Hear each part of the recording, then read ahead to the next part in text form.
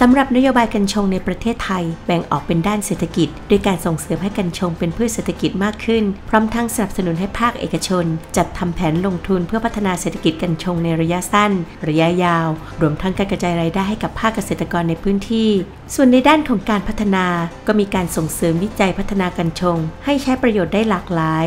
ในด้านการควบคุมก็ใช้ระบบให้จังหวัดอำเภอ ท้องถิ่นตามกลไกโครงสร้างสออปสจ และสปปสอ ของแต่ละจังหวัด อำเภอกำกับดูแลตรวจสอบ ไม่ให้เกิดการรั่วไหล ตัวพืชเฮมเนี่ยเป็นอีกพืชหนึ่งที่เราคิดว่าน่าจะมาส่งเสริมทางเศรษฐกิจได้ โดยเฉพาะตัวประโยชน์ของเฮมเนี่ยมันมีหลายประการตั้งแต่ในเรื่องของการเอามาทำตัวเครื่องนึ่งห่มในเรื่องของตัวผลิตภัณฑ์อาหาร หรือว่าเวชสำอาง ซึ่งตรงนี้เนี่ยถ้าเกิดสามารถทำและพัฒนาจนกระทั่งมาเป็นผลิตภัณฑ์สำเร็จรูปได้เนี่ยในเรื่องของตัว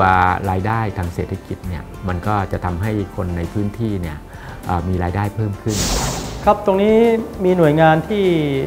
รับผิดชอบอยู่นะครับ ไม่ว่าจะเป็นทางกระทรวงสาธารณสุขสถาบันพัฒนาที่สูง หรือแม้แต่มูลที่โครงการหลวงนะครับ หน่วยงานต่างๆ เหล่านี้ก็จะช่วยกันประชาสัมพันธ์นะครับให้ให้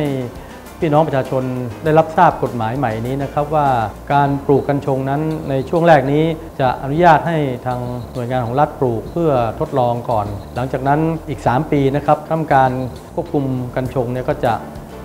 เสนอที่จะให้เกษตรกรหรือบุคคลทั่วไปเนี่ยขออนุญาตปลูกได้นะครับ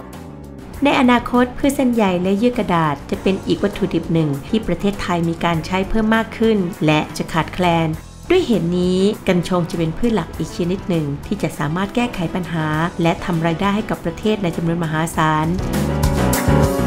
สำนักงานคณะกรรมการป้องกันและปราบปรามยาเสพติดกระทรวงยุติธรรม